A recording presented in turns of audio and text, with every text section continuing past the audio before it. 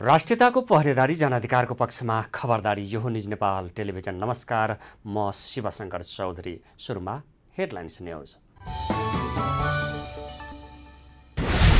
प्रधानमन्त्री दाहालद्वारा आफ्नो अमेरिका र चीन भ्रमणबारे प्रतिनिधि सभालाई जानकारी राष्ट्रसङ्घमा अल्पविकसित सहित सत्तालिस राष्ट्रियको तर्फबाट सम्बोधन गर्ने। संविधान दिवसका अवसरमा पदक नबाड्ने सरकारको निर्णय शुक्लाफाटा निकुञ्जबाट पीडित भएकाहरूको समस्या समाधानका लागि न्यायिक आयोग गठन हुने। शिक्षा विधेयकमा आपत्ति जनाउँदै देशभरका विद्यालय बन्द गर्ने शिक्षक महासङ्घको घोषणा। विधेयक शिक्षकहरूको हकहित विपरीत भएको ठहर। राप्रपा नेपालले तेस्रो जनआन्दोलनको तयारी थालेको अध्यक्ष कमल थापाको भनाई राज संस्था पुनर्स्थापनाको माग गर्दै काठमाडौँमा विरोध प्रदर्शन।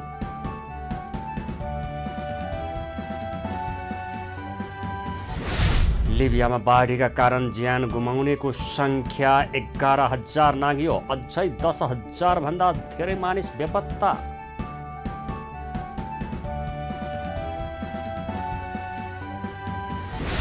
र एसियाली खेलकुदका लागि नेपाली क्रिकेट टोलीको घोषणा।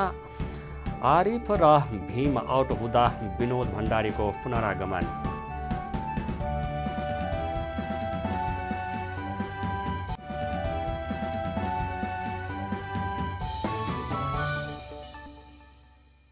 अब न्युज विस्तारमा सुरु गरौँ चीन भ्रमणको प्रसङ्गबाट प्रधानमन्त्री पुष्पकमल दाहालले चिनका राष्ट्रपति सी जिङपिङसँग हाङजाओमा शिष्टाचार भेटवार्ता गर्नुहुने भएको छ।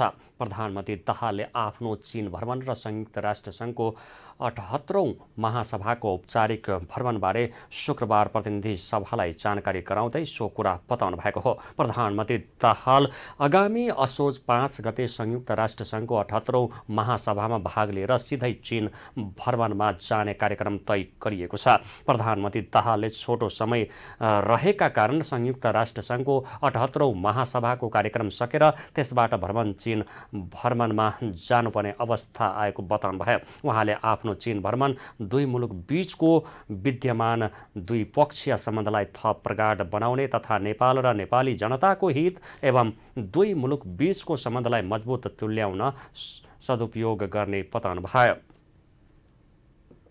यस भ्रमणले नेपाल चीन बीच विद्यमान द्विपक्षीय सम्बन्ध थप प्रगाढ हुनेछ भन्ने मैले विश्वास लिएको छु। यस भ्रमणलाई नेपाल र नेपाली जनताको हित एवं नेपाल चिन सम्बन्धलाई मजबुत तुल्याउन सदुपयोग गर्ने मेरो प्रयास रहने कुरा म यस सम्मानित सदनलाई अवगत गराउन चाहन्छु। यसअघि प्रधानमन्त्री दाहालले असोज चार गते संयुक्त राष्ट्रसङ्घको अठहत्तरौँ महासभालाई न्युयोर्कमा सम्बोधन गर्नुहुनेछ। प्रधानमन्त्री दाहालले संयुक्त राष्ट्रसङ्घको महासभामा आफूले नेपालले हासिल गरेका राजनीतिक उपलब्धिहरू अवगत गराउने शान्ति प्रक्रियालाई तार्किक निष्कर्षमा पुर्याउन नेपालले गरिरहेको प्रयासमा अन्तर्राष्ट्रिय समुदायको सद्भाव खोज्ने र विकसित मुलुकबाट दिगो र स्थायी रूपमा स्तरोन्नति हुन आइपरेको चुनौतीबारे विश्व समुदायको ध्यान आकर्षण गराउने पनि बताउनु भयो अवगत गराउने शान्ति प्रक्रियालाई तार्किक निष्कर्षमा पुर्याउन नेपाल ने, पुर्याउन नेपालले गरिरहेको प्रयासमा अन्तर्राष्ट्रिय समुदायको सद्भाव खोज्ने अति कम विकसित मुलुकबाट दिगो र स्थायी रूपमा स्तरोन्नति हुन आइपरेका चुनौतीहरूबारे विश्व समुदायको ध्यान आकर्षण गर्ने अल्प विकसित देशहरूको समूहको अध्यक्षको हैसियतले यो समूहका सदस्य राष्ट्रहरूले झेल्दै आएका विशिष्ट चुनौतीहरूबारे आवाज उठाउने जलवायु परिवर्तनबाट नेपाल जस्तो पर्वतीय देशमा परेको गहिरो र दुर्गामी प्रभावहरू लगायतका नेपालका लागि चासोका विषय र प्राथमिकताहरूप्रति विश्व समुदायको ध्यान ध्यानकर्षण गराउने तयारी रहेको छ। प्रधानमन्त्री दाहालको रूपमा चिनको यो तेस्रो भ्रमण हो र भ्रमण दल छोटो र छरितो रहेको पनि उहाँले दावी गर्नुभयो। त्यस्तै नेकपा एमालेका सांसद रघुजी पन्तले प्रधानमन्त्रीको चीन भ्रमणमा नेपाल चीन विद्युत व्यापारको विषयमा छलफल गर्नुपर्ने बताउनु भएको छ। शुक्रबार प्रतिनिधि सभा बैठकपछि सञ्चारकर्मीहरूसँग कुराकानी गर्दै उहाँले नेपालको विद्युत व्यापार भारतसँग निर्भर रहँदा भारतले दबावमा राख्न सक्ने भन्दै चीनसँग पनि व्यापार गर्नुपर्ने बताउनु भयो बिजुलीको बजार हामीले तिब्बततिर चिनतिर पनि खोज्नुपर्छ। त्यसरी ट्रान्समिसन लाइनको कुरा जुन चलेको छ त्यो ट्रान्समिसन लाइन चाहिँ नेपालका विभिन्न भागबाट चिनतिर कहाँ कहाँ जोड्न सकिन्छ त्यो सम्भावना खोज्नुपर्छ। त्यो बाहेक अब रेलको रेलवेको समझदारी भए पनि रेल बन्न निकै समय लाग्छ। होइन? केरुङ काठमाडौँ रेल ल्याउने समय अझै लामो हुनसक्छ। त्यस हुँदाखेरि त्यो बिचमा पनि ट्रान्सपोर्टेसन राम्रोसँग गर्नको लागि तिन चारवटा राजमार्गहरू चाहिँ चिनबाट खोल्नु पर्यो। नेपाली काङ्ग्रेसका सांसद रामहरि खतिवडाले भ्रमणका बेलामा प्रधानमन्त्रीले देशको राष्ट्रियता राष्ट्रिय अखण्डता सार्वभौमिकतालाई असर नगर्ने गरी काम गर्नुपर्ने बताउनु भयो उहाँले नेपाली भूमिको सम्बन्धमा पनि कूटनीतिक रूपमा स्पष्ट रूपमा कुरा गर्नुपर्ने देशको राष्ट्रियता राष्ट्रिय अखण्डता सार्वभौमिकतालाई असर नगर्ने गरी राम्रा काम गर्नुहोस्। कोहीसँग हाम्रो सम्बन्ध मित्र राष्ट्रहरूसँग योसँग र ढल्किने र पल्किने काम गर्नु हुँदैन भने भन्ने हामीले भनेकै छौँ। हाम्रा दुईवटा मित्र राष्ट्रहरू छन्। हाम्रो त्यो देशको बिचमा हामी छौँ एउटा भारत अर्को चिन। हाम्रो धेरै कुराहरू एउटा देशसँग नजिकमा पद्धति छ। संसदीय पद्धति व्यवस्था प्रक्रिया एउटा देशसँग मिल्छ अर्को देश चाहिँ नजिकै छ। हामी सबैसँग मिलेर काम गर्न चाहन्छौँ। मैले फेरि पनि भने भ्रमण गर्दाखेरि नेपाललाई हित हुने कामका लागि राम्रो गरेर आउनुहोस् भन्ने। नेकपा माओवादी केन्द्रका सांसद देवेन्द्र पौडेलले प्रधानमन्त्रीले यस भ्रमणका क्रममा नेपाल र चीन नाका खोल्ने विषयमा निर्णय हुने बताउनु भयो उहाँले व्यापारको विषयमा पनि छलफल हुने बताउनु भयो हामीले केही विकास साझेदारी खास गरी केही क्षेत्रका नाकाहरू खोल्ने बारेमा कतिपय चाहिँ व्यापारसित सम्बन्धित विषयहरूको बारेमा केही ठुल्ठुला परियोजनाहरूको बारेमा बिस बुँदे हस्ताक्षर भएको थियो। र उहाँहरूको पनि सरकार र चासोको विषय भनेको बिआरआई परियोजना जो परियोजना हामीले बुझिने अनुसार स्थलबाट जलबाट मनबाट संसारका मानव जातिको बिचमा सम्बन्ध विस्तार गर्ने ढोकाको रूपमा उहाँहरूले नेपाललाई बुझ्नु भएको छ र उहाँहरूले पनि त्यो खास गरी उहाँहरूको त्यो परियोजनासित सम्बन्धित आफ्नो एजेन्डाहरू प्रस्तुत गरिरहनु भएको छ। त्यस्तै नेकपा माओवादीका सांसद लेखनाथ दाहालले प्रधानमन्त्रीको चीन भ्रमणको बेलामा सीमा सम्बन्धी समस्या समाधान गर्ने विषयमा पनि छलफल हुने बताउनु भयो। नेपालको चुच्चे नक्साको सन्दर्भमा पनि चिनिया पक्षसँग छलफल हुने र प्रधानमन्त्रीले उनीहरूलाई सो कुराको बोध गराउने उहाँले बताउनु भयो।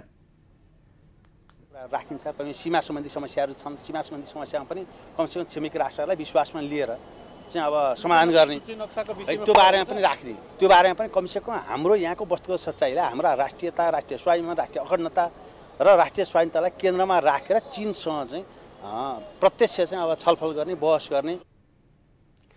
राष्ट्रिय प्रजातन्त्र पार्टीका प्रमुख सचेतक ज्ञान बहादुर शाहीले प्रधानमन्त्रीलाई नेपालको चुच्चे नक्साको कुरा नटुङ्ग्याई चिन भ्रमण। नजान सुझाव दिनुभयो। चुच्चे नक्साको कुरा नटुङ्ग्याई चिन भ्रमण नगए हुन्छ। र अर्को चाहिँ चिन भ्रमण जाँदै गर्दा सम्माननीय प्रधानमन्त्रीज्यूलाई हामीले के भनेका छौँ भने प्रधानमन्त्रीज्यूले चाहिँ हङकङमा नेपाल एयरलाइन्स पनि जान्छ त्यहाँको क्याथे एयरलाइन्स पनि छ। ट्रान्जिटमा चाहिँ नेपाल एयरलाइन्सले चाहिँ प्यासेन्जर बोक्न पाउँदैन। त्यो चाहिँ जसरी पनि अन्त्य गरेर नेपाल एयरलाइन्सले पनि ट्रान्जिटका प्यासेन्जरहरू बोक्न पाउने नीति बन्नुपर्छ।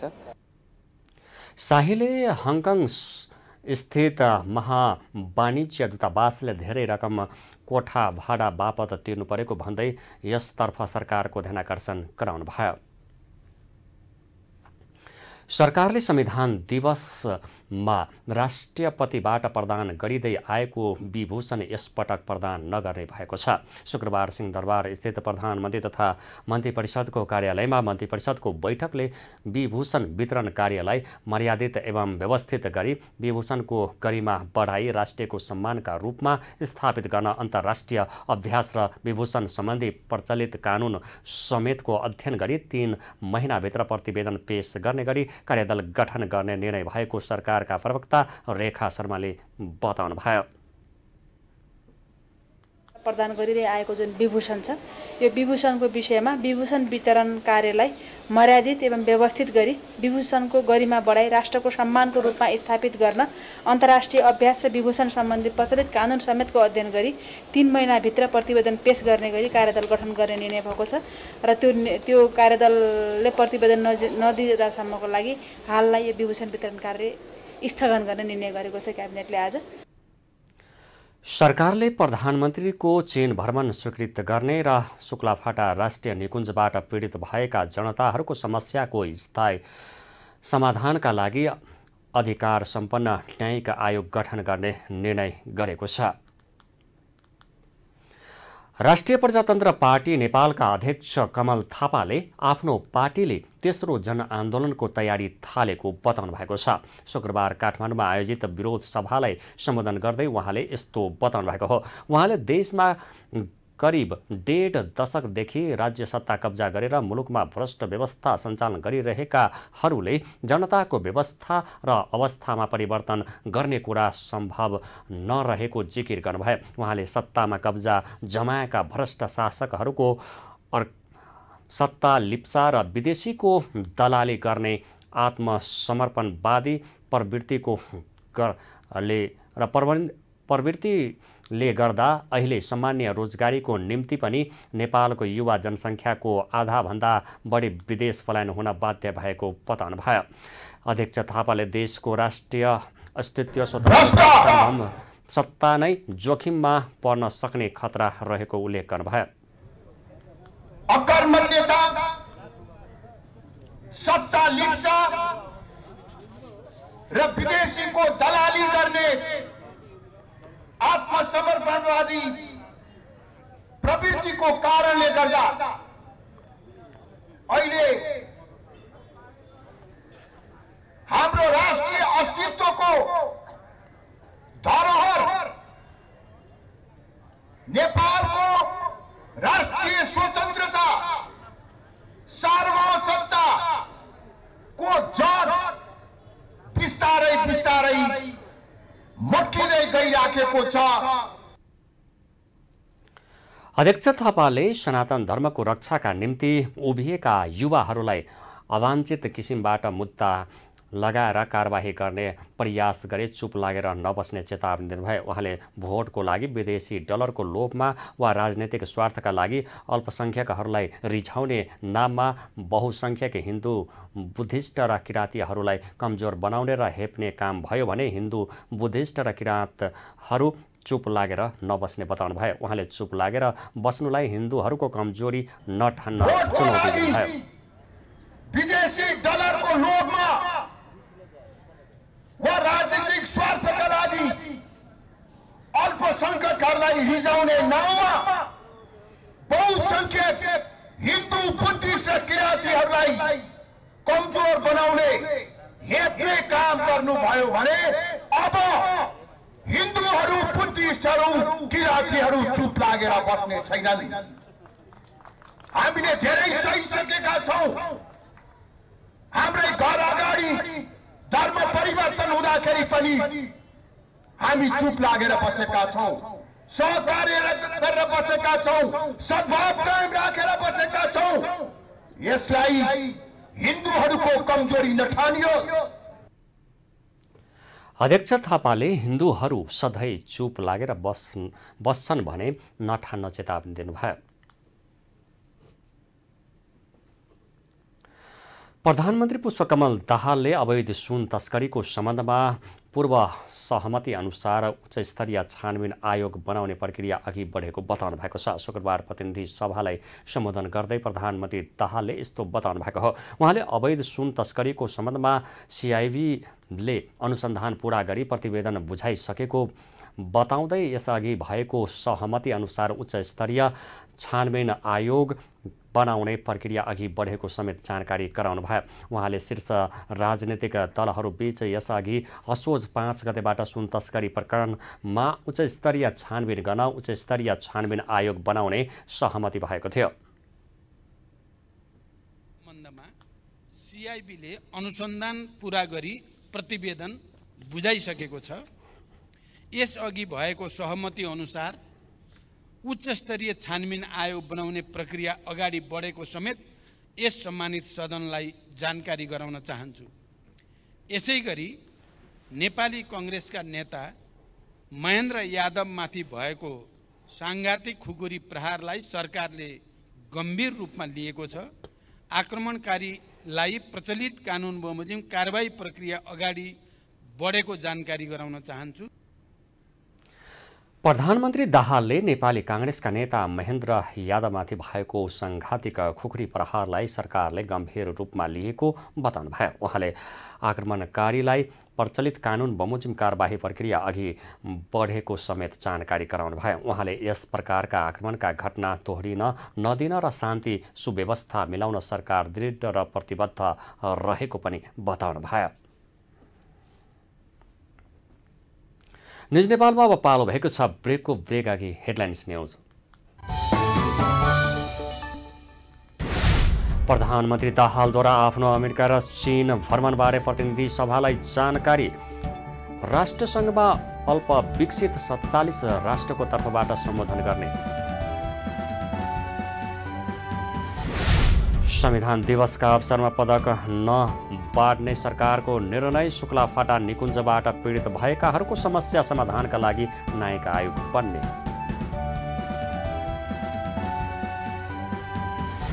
शिक्षा विधेयकमा आपत्ति जनाउँदै देशभरका विद्यालय बन्द गर्ने शिक्षक महासङ्घको घोषणा। विधेयक शिक्षकहरूको हक हित विपरीत भएको ठहर।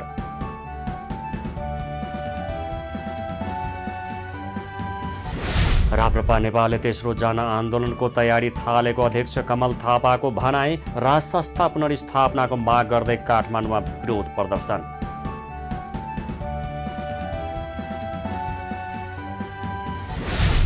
लिबियामा बाढीका कारण ज्यान गुमाउनेको सङ्ख्या एघार हजार नागियो अझै दस हजारभन्दा धेरै मानिस बेपत्ता।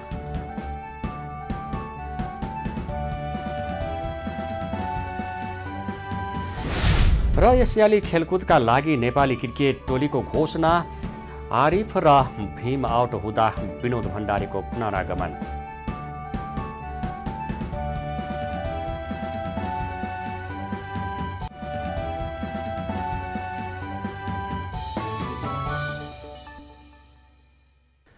ब्रेकपछि पुनः स्वागत छ निज नेपालमा। अब बाँकी न्युज। नेपाल शिक्षक महासङ्घ राष्ट्रिय समितिले सदनमा दर्ता भएको शिक्षा विधेयकप्रति असन्तुष्टि जनाउँदै सडक आन्दोलनको घोषणा गरेको छ। शुक्रबार काठमाडौँमा पत्रकार सम्मेलन गर्दै महासङ्घले आगामी असोज तिन गतेदेखि देशभरका विद्यालय बन्द गरी काठमाडौँ केन्द्रीय आन्दोलन गर्ने घोषणा गरेको हो। नेपाल विद्यालय कर्मचारी परिषदका अध्यक्ष गङ्गाराम तिवारीले नेपाल शिक्षक महासङ्घ राष्ट्रिय समितिले घोषणा गरेको आन्दोलनमा ऐक्यबद्धता व्यक्त गर्नुभयो। नेपाल शिक्षक महासङ्घ अहिले तेस्रो चरणको आन्दोलन र तेस्रो चरणको आन्दोलन पनि विद्यालय बन्द गरेर सडक आन्दोलन गर्ने क्रममा जुन आज पत्रकार सम्मेलन कार्यक्रम आयोजना गरिएको छ यसका लागि नेपाल विद्यालय कर्मचारी परिषदको तर्फबाट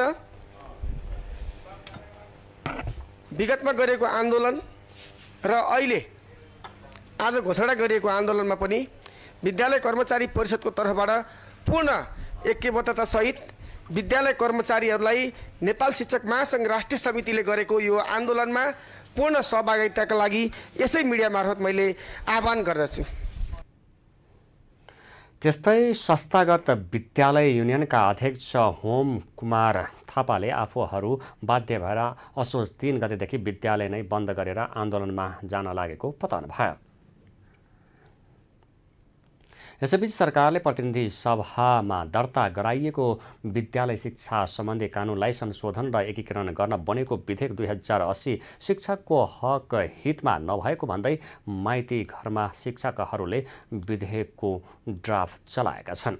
शुक्रबार राहत शिक्षकहरूले संसदमा दर्ता भएको शिक्षा र शिक्षा विधेयकले शिक्षकहरूको अधिकार कुण्ठित गर्ने गरी आएको भन्दै विधेयक जलाएर साङ्केतिक विरोध जनाएका हुन्। नेपाल राहत शिक्षा केन्द्रीय समितिका अध्यक्ष खेम राज अधिकारीले सामुदायिक विद्यालयमा कार्यरत देशैभर चालिस हजार राहत शिक्षकको हक अधिकार कुण्ठित गर्ने गरी सरकारले विधेयक ल्याइएको बताउनुभयो। उहाँले विगतमा गरेका सम्झौता विपरीत सम्झौता ल्याइएको भन्दै आफूहरूलाई सामान्य र मान्य नहुने बताउनुभयो र अधिकारीले भदौ सत्ताइस गते विधेयक संसदमा दर्ता भएको भन्दै सो दिन आफूहरूको लागि कालो दिन भएको बताउनुभयो।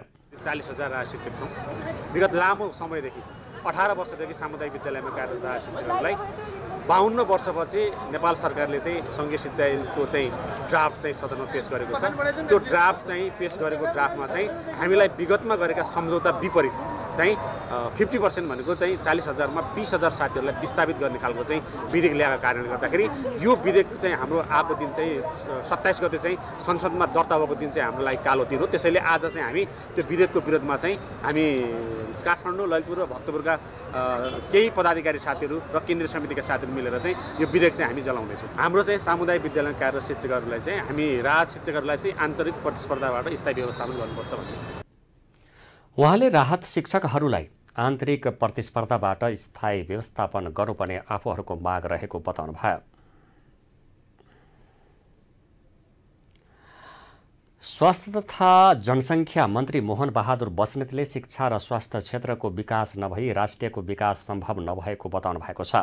राष्ट्रिय जनसङ्ख्या सम्मेलन दुई हजार असीलाई काठमाडौँमा सम्बोधन गर्दै उहाँले शिक्षा र स्वास्थ्य क्षेत्रको विकास भौतिक निर्माणसँग होइन मानवीय संवेदनासँग जोडिएको बताउनुभयो मानवीय संवेदनालाई सम्बोधन नगरी भौतिक विकासले मात्रै देश विकास भएको मान्न नसकिने उहाँले तर्क दिनुभयो स्ट्राटेजी बनाएर कसरी अगाडि बढ्ने भन्ने कुरामा एउटा यो भेलाले एउटा निष्कर्ष समेत निक्लिन्छ भन्ने मलाई लाग्छ र विज्ञहरू तपाईँहरू यहाँ धेरैजना हुनुहुन्छ। र मलाई पनि व्यक्तिगत रूपमा भन्नुपर्दा म मन्त्री हुँ वा नहुँ कुनै पदमा रहँ वा न नरहँ। शिक्षा र स्वास्थ्य आधारभूत आवश्यकता हो जनताको। यसको विकास बिना यसको चाहिँ प्रगति बिना यसको व्यवस्थापन बिना विकास सम्भव छैन व्यक्तिदेखि राष्ट्रसम्मको। भन्ने कुरा मलाई सानै उमेरदेखि लागेको कारणले म शिक्षा र स्वास्थ्यमा कलेज र युनिभर्सिटीको मेरो आफ्नो जीवनदेखि म निरन्तर रूपमा काम गरिरहेको मान्छे हुँ शिक्षा र स्वास्थ्यमा। यस्तै उहाँले तीव्र सहरीकरणका कारण सहरी सुविधाहरू बढाउन र विकासको ढाँचामा परिवर्तन गर्न आवश्यक देखिएको भन्दै जनसङ्ख्या व्यवस्थापनमा सबै तहका सरकार तथा गैर सरकारी क्षेत्रको समन्वय र सहकार्य आवश्यक भएको बताउनुभयो।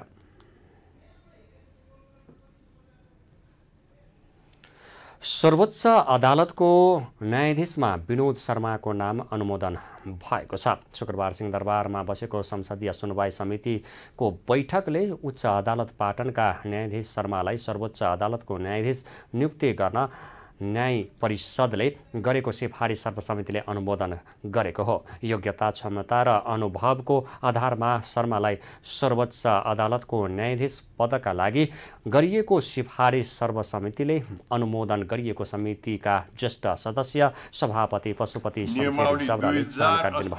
संसदीय सुनवाई समितिको कार्यविधि दुई हजार असी बमोजिम समितिले सुनवाई गर्दा प्रस्तावित व्यक्तिको योग्यता क्षमता र अनुभव समेतको आधारमा सङ्घीय संसदको संयुक्त बैठक र संयुक्त समितिमा नियमावली दुई हजार अस्सीको नियम छब्बिसको उपनियम पाँच बमोजिम प्रस्तावित व्यक्तिलाई सर्वोच्च अदालतको न्यायाधीशको लागि अनुमोदन गर्ने। शर्मामाथि संसदीय सुनवाई समितिमा कुनै पनि उजुरी परेको थिएन। न्याय परिषदको गत भदौ दस गते बसेको बैठकले उहाँलाई सर्वोच्च अदालतको न्यायाधीश पदमा नियुक्तिका लागि सिफारिस गर्ने निर्णय गरेको थियो। संसदीय सुनवाई समितिले अनुमोदन गरेसँगै राष्ट्रपति रामचन्द्र पौडेलले उहाँलाई सर्वोच्च अदालतको न्यायाधीशमा नियुक्त गर्नुहुनेछ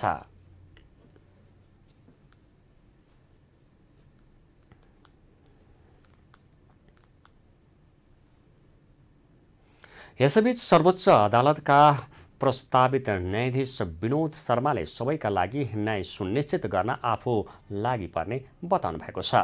शुक्रबार सिंहदरबारमा बसेको सङ्घीय संसदको संसदीय सुनवाई समितिको बैठकमा आफ्नो भावी योजना प्रस्तुत गर्ने क्रममा उहाँले सो प्रतिबद्धता व्यक्त गर्नुभएको हो। प्रस्तावित न्यायाधीश शर्माले न्यायमा ढिलासुस्ती र खर्चिलोपन हुन नदिनका लागि आफूले सक्दो पहल गर्ने बताउनु भयो। अदालतले तर्जुमा गरेको राज र रणनीतिक योजनामा कार्यपालिका र न्यायपालिका र व्यवस्थापिका बीचको सन्तुलन र नियन्त्रणको सिद्धान्तलाई नेपालको अदालतले अङ्गीकार गरिरहेको उल्लेख गर्दै उहाँले त्यसलाई अझै प्रभावकारी ढङ्गले अघि बढाउनु पर्ने समेत बताउनुभयो। स्वतन्त्र न्यायपालिका सम्बन्धी अवधारणा र मूल्य मान्यतालाई अनुसरण गर्दै शक्ति चित्ताधिकरण र नियन्त्रण एवं सन्तुलनको सिद्धान्तलाई आत्मसात गरेको छ। सीमित तथा जवाबदेही सरकार सम्बन्धी अवधारणाले राज्यका तिनै अङ्गको अन्तर सम्बन्धलाई उच्च महत्त्व दिएको हुन्छ। राज्यका तीन अङ्गहरूबिच नियन्त्रण र सन्तुलनको सिद्धान्तको प्रभावकारिताको लागि न्यायपालिका स्वतन्त्र न्यायपालिकाको महत्त्वपूर्ण भूमिका रहेको छ उच्च अदालत पाटनका न्यायाधीश शर्मा हाल सर्वोच्च अदालतमा कागजमा रहनु भएको छ। उहाँलाई न्याय परिषदको गत भदौ दस गते बसेको बैठकले सर्वोच्च अदालतको न्यायाधीशमा सिफारिस गरेको थियो। संसदीय सुनवाई समितिले अनुमोदन गरेपछि उहाँलाई राष्ट्रपतिले नियुक्त गर्ने संवैधानिक व्यवस्था रहेको छ।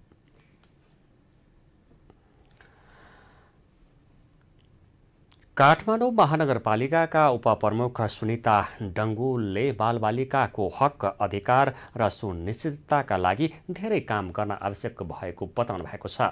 महानगरपालिकाद्वारा आयोजित बाल दिवस विशेष कार्यक्रममा उहाँले यसका लागि सरकारी र सङ्घ संस्थाले उत्तिकै जिम्मेवार भएर काम गर्नुपर्ने बताउनु भएको हो। इतिहासलाई खोतल्दै जाने हो भने बाल अधिकारका लागि धेरै अघिदेखि नै सङ्घर्ष गर्दै आएको उहाँको भनाइ छ।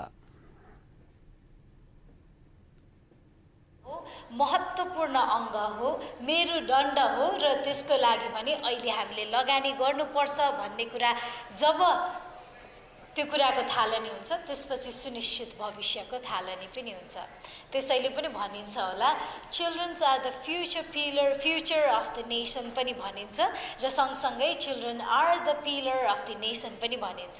र त्यति मात्र नभएर भविष्य मात्र होइन वर्तमान पनि हो है तपाईँहरू सबैजना।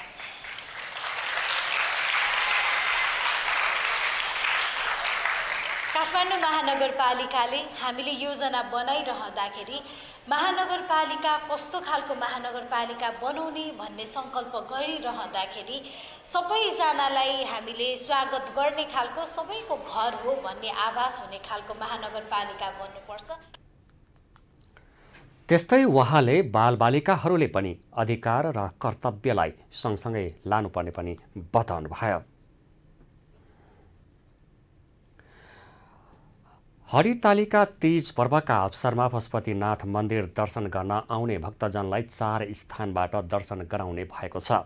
कोषले यस वर्षको हरितालिका तीज पर्वका अवसरमा पशुपतिनाथको दर्शनमा आउने व्रतालु भक्तजनका लागि सहज बनाउन चार स्थानबाट लामको व्यवस्था गर्न लागि हो। तीजको तयारीका लागि शुक्रबार कोषले आयोजना गरेको छलफलमा कोटेश्वर तिनकुने सिनामङ्गल क्षेत्रबाट आउने भक्तजनका लागि तिलगङ्गा पर्यटक टिकट काउन्टर क्षेत्रबाट प्रवेश गरी राम मन्दिर आर्यघाट क्षेत्र हुँदै पूर्वी ढोकाबाट पशुपतिनाथ मन्दिर प्रवेश गर्ने व्यवस्था गरेको जानकारी दिएको छ। यो मार्गबाट प्रवेश गर्ने भक्तजनको जुत्ता चप्पल आर्यघाट जाने बागमती नदी माथिका दुई पुल पार गरेपछिको मध्य क्षेत्रमा राख्ने गरी व्यवस्था मिलाइएको छ।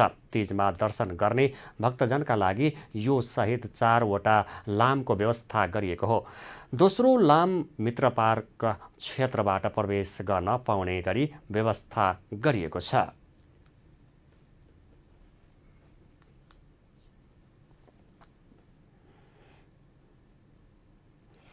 अब पालो भएको छ बिजनेस न्युजको।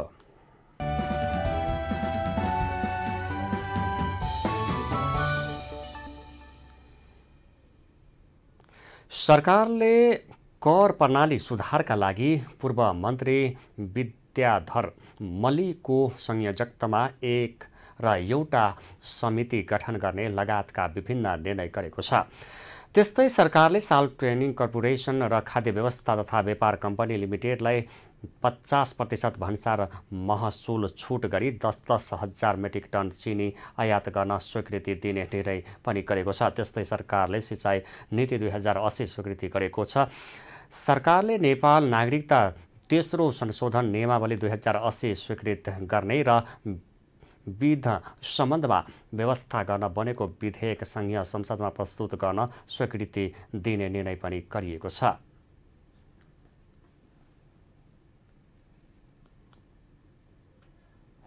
मन्त्रालयकै प्रस्तावमा यो साल ट्रेडिङ कर्पोरेसन र खाद्य व्यवस्था तथा व्यापार कम्पनी लिमिटेडलाई पचास प्रतिशत भन्सार महसुल छुट गरी दस दस हजार मेट्रिक टन चिनी आयात गर्न स्वीकृति दिने भन्ने निर्णय पनि भएको छ। नेपाल नागरिकता तेस्रो संशोधन नियमावली दुई हजार असी स्वीकृत गर्ने पनि निर्णय गरेको छ। यो गृह मन्त्रालयकै प्रस्तावमा हो। यो विभूषणको कुरा पनि र यो नागरिकता नियमावलीको कुरा पनि। त्यसै गरेर यो विधायन सम्बन्धमा व्यवस्था गर्न बनेको विधेयक सङ्घीय संसदमा प्रस्तुत गर्न स्वीकृति दिने भन्ने पनि निर्णय भएको छ। सरकारले प्रधानमन्त्रीको चीन भ्रमण स्वीकृति गर्ने र शुक्लाफाटा राष्ट्रिय निकुञ्जबाट पीडित भएका जनताहरूको समस्याको स्थायी समाधानका लागि अधिकार सम्पन्न न्यायिक आयोग गठन गर्ने निर्णय गरेको छ। नेपाल उद्योग वाणिज्य महासङ्घका अध्यक्ष चन्द्र प्रसाद ढकालले आगामी दिनमा अर्थतन्त्र थप चलायमान बन्ने बताउनु भएको छ। शुक्रबार काठमाडौँको नयाँ बानेश्वरमा अभिनेता दीपक राजगिरी र अभिनेत्री दिपाश्री निरोलाको आइएम आइआई सिनेमा हलको उद्घाटन गर्दै उहाँले अर्थतन्त्र योभन्दा पनि तल्ल खस्किने ठाउँ नरहेको भन्दै अबका दिनमा अर्थतन्त्रले लै समात्ने बताउनु भयो। अध्यक्ष ढाकाले व्यावसायिक एक्टिभिटिज बढे मात्रै अर्थतन्त्र चलायमान बन्ने पनि बताउनु भयो। त्यस्तै उहाँले कोरोना भाइरसपछि अर्थतन्त्र कमजोर बन्दै गएको र व्यावसायिक माहौल बिग्रिँदै गएको अवस्थामा सिनेमा हल खुल्नेले आम मानिसमा सकारात्मक ऊर्जा थपिने विश्वास व्यक्त गर्नुभयो। यो जुन अहिलेको अवस्थामा जुन यो सिनेमा हल सञ्चालन गरेर जुन एउटा चाहिँ इकोनोमिक एक्टिभिटी बढ्ने जुन एउटा चाहिँ म्यासेज दिनुभएको छ त्यसको लागि पनि म तपाईँलाई धेरै धेरै धन्यवाद दिन चाहिँ चाहन्छु। अहिले वास्तवमा कता कता चाहिँ मान्छेहरूलाई एउटा पब्लिक कन्फिडेन्स चाहिँ नभइराखेको चाहिँ अवस्थामा यो साँच्चै आउने दिनमा चाहिँ अब यो एकदम उत्साहजनक हिसाबले चाहिँ बढ्छ भन्ने पनि वास्तवमा यो आजको यो सिनेमा हल उद्घाटनले चाहिँ एउटा चाहिँ म्यासेज दिनेछ भन्ने कुरा म राख्न चाहिँ चाहन्छु। अध्यक्ष ढकालले एउटा कलाकारले मेहनत गर्यो भने सिनेमा हलको मालिक पनि हुन सक्ने रहेछ भने स्पष्ट म्यासेज भएको पनि बताउनु राष्ट्रिय स्वतन्त्र पार्टीले आसन्न चीन भ्रमणका क्रममा कृषि क्षेत्रलाई प्राथमिकतामा राख्न सुझाव दिएको छ। शुक्रबार उद्योग मन्त्री रमेश रिजाल मार्फत प्रधानमन्त्रीलाई ज्ञापन पत्र बुझाउँदै राजसपाका सांसदहरूले कृषि क्षेत्रलाई आत्मनिर्भरमुखी मात्र नभई उद्योग क्षेत्रसँग जोड्ने हो भने खाद्य सुरक्षा र व्यापारिक क्षमता विकास हुने भन्दै त्यसतर्फ ध्यान दिन प्रधानमन्त्रीलाई आग्रह गरेका छन्। प्रधानमन्त्रीले चीन भ्रमणबारे समिति र संसदबाट सुझाव लिएको नदेखिएपछि उद्योग मन्त्री मार्फत प्रधानमन्त्रीलाई सुझाव दिएको राजसपा सांसद गणेश पराजुलीको भनाइ छ। त्यस्तै उहाँले राष्ट्रको हितका लागि आफ्नो पार्टीले सधैँ रचनात्मक प्रतिपक्षको भूमिका निर्वाह गर्ने दावी गर्नुभएको छ।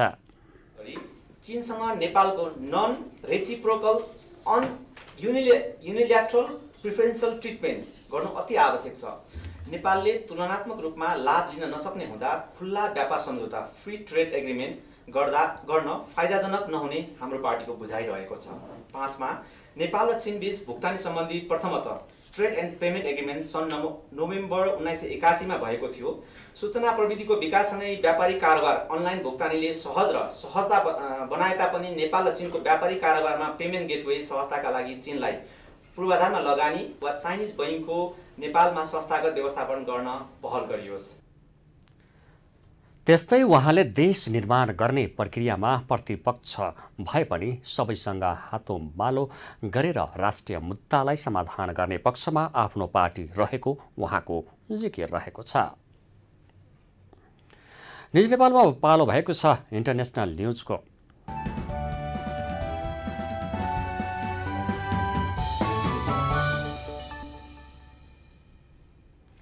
लिबियाको पूर्वी क्षेत्रमा आधीपछि आएको बाढीमा ज्यान गुमाउनेको सङ्ख्या एघार हजार तिन सयजना पुगेको छ। ड्यानिल आँधीसँगै परेको मुसलधारे वर्षाले बाढी आउँदा पूर्वी सहर डेर्नाका एघार हजार तिन सयजनाले ज्यान गुमाएका लिबियाली रेड क्रसका अधिकारीले जानकारी दिएका छन्। दस हजार एक सय मानिस हराइरहेको विवरण प्राप्त भएको पनि रेड क्रसले जनाएको छ। बाढीका कारण पचास हजार जनाभन्दा धेरै मानिस विस्थापित भएका छन्। नब्बे हजार जनसङ्ख्या भएको डेर्नामा अहिले जताततै सब मात्र छरिएका उद्धारकर्ताहरूले जनाएका छन्। डेर्नाका मेयर अब्दुल मेनम ले पनि ज्यान गुमाउनेको सङ्ख्या बिस हजार पुग्ने बताउनु भएको छ। सहरभन्दा साठी माइल पर पनि सब भेटिएको छ। नेपालमा अब पालो भएको छ। स्पोर्ट्स न्युजको सहकर्मी राजेश शर्माको साथमा।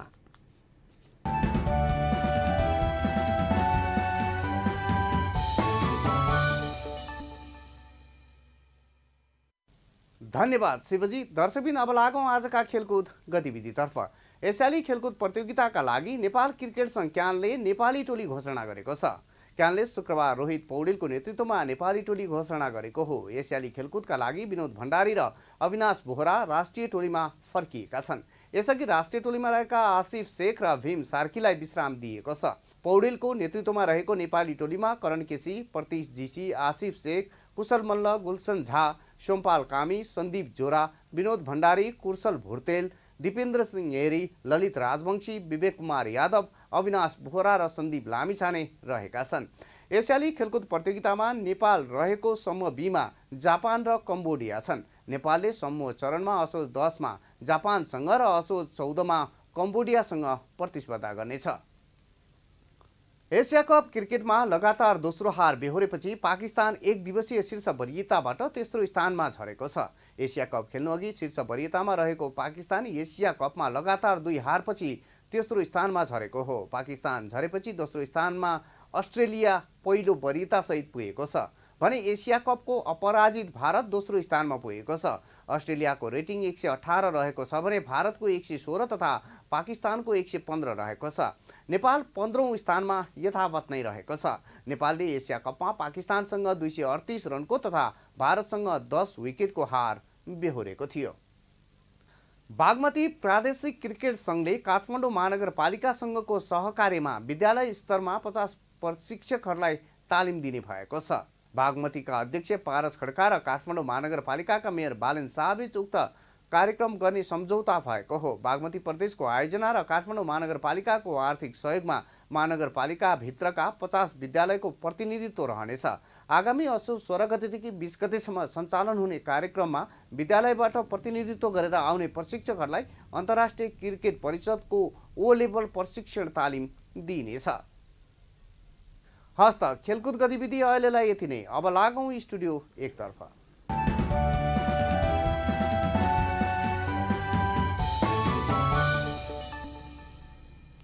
धन्यवाद राजेशजी।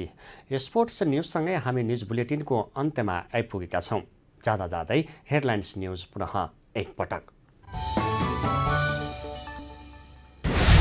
प्रधानमन्त्री दाहालद्वारा आफ्नो अमेरिका र चीन भ्रमणबारे प्रतिनिधि सभालाई जानकारी राष्ट्रिय सङ्घमा अल्पविकसित सत्तालिस राष्ट्रियको तर्फबाट सम्बोधन गर्ने।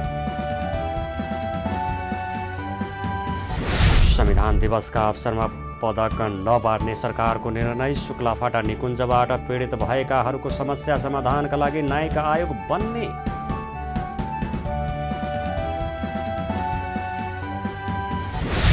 शिक्षा विधेयकमा आपत्ति जनाउँदै देशभरका विद्यालय बन्द गर्ने शिक्षक महासङ्घको घोषणा। विधेयक शिक्षकहरूको हक हित विपरीत भएको ठहर।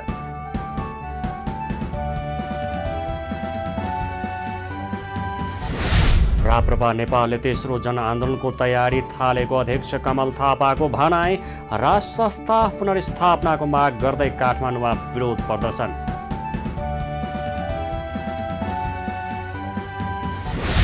लिबियामा बाढीका कारण ज्यान गुमाउनेको सङ्ख्या एघार हजार नाग्यो। अझै दस हजारभन्दा धेरै मानिस बेपत्ता।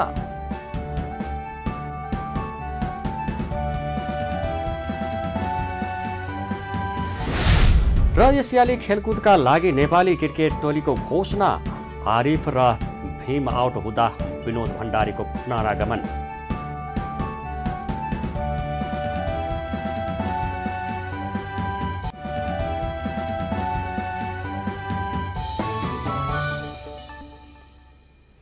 अहिलेलाई निज नेपालको न्युज बुलेटिन यति नै। हाम्रो न्युज र कार्यक्रमहरू युट्युब र फेसबुकमा पनि प्रत्यक्ष हेर्न सक्नुहुनेछ। राष्ट्रियताको पहरेदारी जनअधिकारको पक्षमा खबरदारी हेर्दै रहनुहोला। निज नेपाल टेलिभिजन। नमस्कार।